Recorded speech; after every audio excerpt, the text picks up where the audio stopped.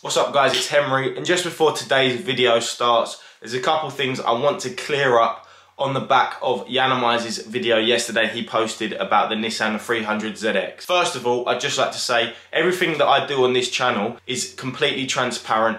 I've got full trust between me and the viewers. I've got no interest in being fake. I gain absolutely nothing out of that. So, secondly, Yanni actually called me yesterday after the video went live and apologised for the way that it had been perceived by the viewers in such a negative light. Which sometimes things on YouTube aren't all they seem and YouTube is an entertainment platform. And Yanni said to me he was trying to be as transparent as I am with his viewers.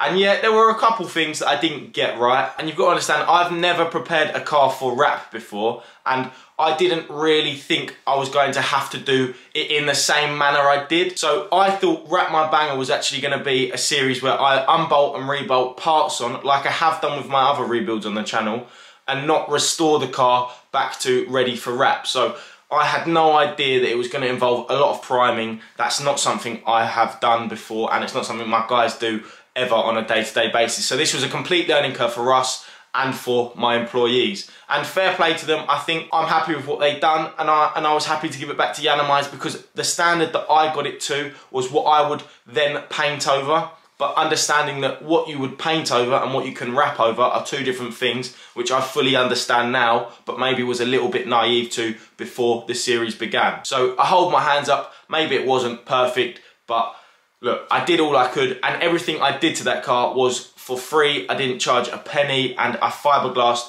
and repaired so many different cracks and chips around the bumpers and the panels and the skirt so it may not look like I'd done loads, but believe me when I say the way I returned it to Yiannimize was definitely far better than when I dropped it off.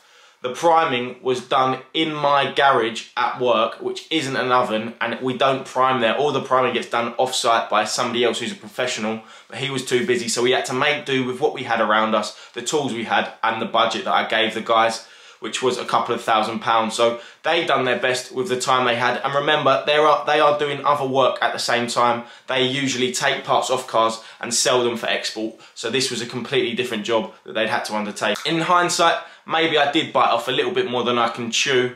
But look, we live and learn, everything's a learning curve, and I know now in the future that if I was to repair a car for Yiannimize and get it ready for him to wrap, I know exactly what he wants it like and I know exactly how he needs it. So from this experience, I've actually learned a lot about myself and about the type of work that Yanni does and how good it really is. Thirdly, everything you do comment on people's videos does get read and it does affect them. So imagine if you were receiving the same comment that you'd given somebody else without really understanding the full extent of the situation, just typing and not really thinking about it. It does get to people. So next time you do it, just take a moment before you type and think about what you're saying because it's not nice for anybody to read. So that's my little talk over. Let's continue with the video that I had planned for you guys and you can see some of the stuff that I did do to the car while it was in my yard and that I didn't do FA like some of the comments are saying. So enjoy the video guys and I'll be happy to answer any questions you have in the comments below. No, I'm not wearing a polka dot tracksuit.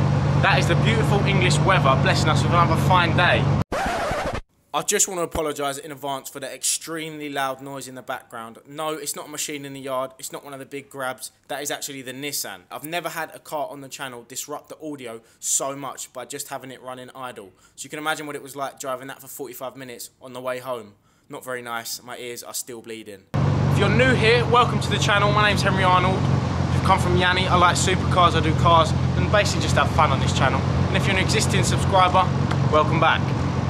As you know, I've been doing the Wrap My Banger series with Yiannimize where I've been repairing the Nissan 300ZX and getting it back to a position where Yanni can wrap over it. I'll take you around the car right now and show you guys what I've done and what I fixed. So let's start at the front. If you remember in the original video, this bumper had a complete crack through the middle of it here. So we've done a complete bumper repair, smoothed off all the edges and got all the grooves back in the right lines that they should be. And we've blacked out the grills in here so it makes it easier for Yanni to wrap. We've also realigned the front bumper and put a new fixing in there so that it now sits in a much better position because before it wasn't sitting very right. I've realigned all of the rubbers around the lights as well and done a full uh, full prime on the bumper and some parts on the bonnet and smoothed it over with a 2000 so that it's ready to be wrapped over. We go around the side, as you can see, done a full prime on the wing mirrors because they were completely rotten. we've done this whole side skirt down the bottom, which was probably the most difficult part because this was all bobbly and it's got holes in it where it's been rusty. We've had to do a makeshift repair so that Jan can wrap over it and it's been done to the best of our ability and it, I think it's in the best state that it could be for the time we had with it. If we follow around the back you can see the roof and all the other parts have all been primed as well. And then this was the most tedious part of the job. Oh look, a nice bit of rubbish on there this bit here, if you look, come and look over, we've done the best we can do, but the spoiler is rubber, and there is no replacements on eBay or anywhere. I couldn't find one, and Nissan didn't have any in stock. So we've done the best we could. We've primed it over, and it can be wrapped over pretty well. So yeah, I'm, I'm buzzing with it. And then we've done the rear bumper full prime, and the same down the other side as we did on this side. But it's looking a lot better, and once it's been wrapped, you won't recognise it from the start to the finish. I'm to flick back now so you guys can see a little bit of the work that we've done to it and how we did it.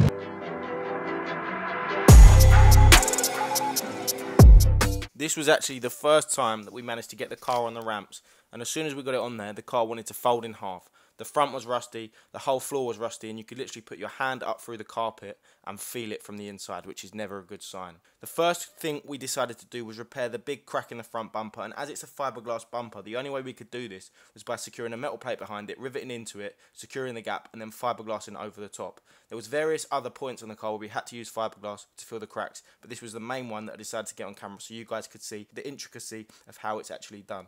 A repair like this would cost you upwards of £300 to get done in a garage and there was multiple on this car so it was a very difficult thing to do and we took our time with it and made sure we got it done perfectly.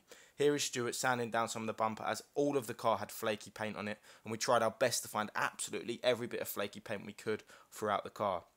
We actually reattached the front bumper using our own fixings and made sure that it fitted absolutely perfectly and much better than it did prior to when we took it off. And as you can see here, the front bumper gaps are looking a lot better.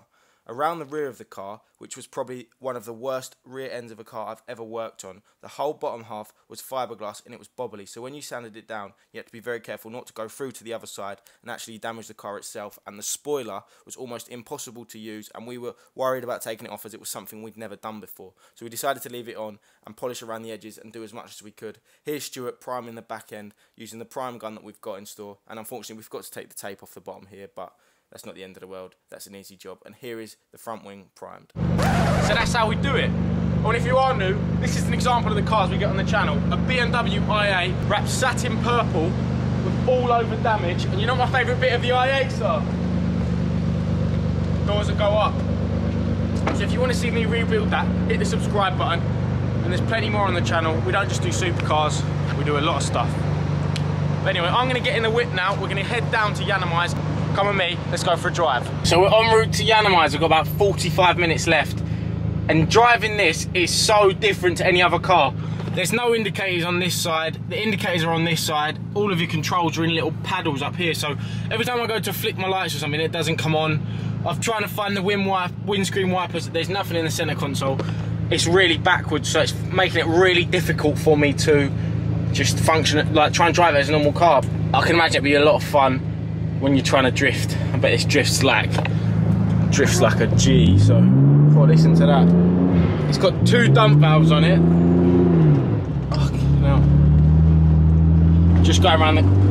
Just going around the corners ever so slowly so I don't flick the back end out. But I'll catch up with you guys in a bit because I need to keep my eyes on the road. It's very wet and slippery. Just had an absolute nightmare in a petrol station Obviously I haven't had to put any petrol in it yet, so I've, I've just left my yard to come here and I've seen the gauge is empty, so right, I thought I'll stop in the petrol station quickly, grab some fuel in there so it's got enough to get down here.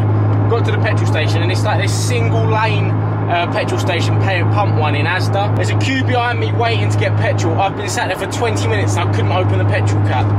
So I called up Bert and he called the owner and he said it gets stuck sometimes. So uh, to ask for someone's help, I got on the petrol cap and I pulled it with my fingers down the sides while they pushed the lever down here. What a terrible design from Nissan. Why not just make it a push one?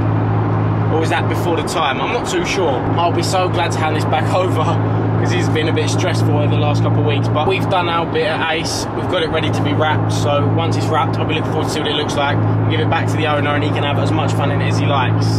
Hope he has more fun than I did with it.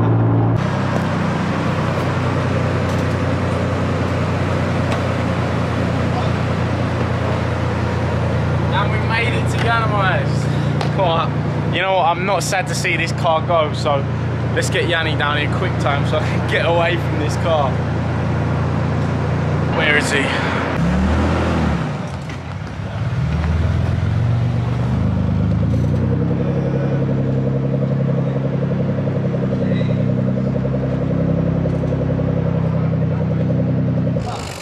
Oh dear. I got a little bit excited down at Yiannimize's and actually forgot to ask my cameraman, who is my girlfriend, to get the camera out and actually record. So, yep, I'm a proper Dinlo. My one opportunity at Yiannimize's to get him on the channel, and I forgot. Hopefully, there's more opportunities in the summer, and it was an absolute pleasure to work with Yanni on this project. So, big shout out to Yanni because I don't actually say it anywhere else in the video. Thanks for getting me on board. I've loved it, and if we can do something again, and if I can help you out, just know I'm the man for the job.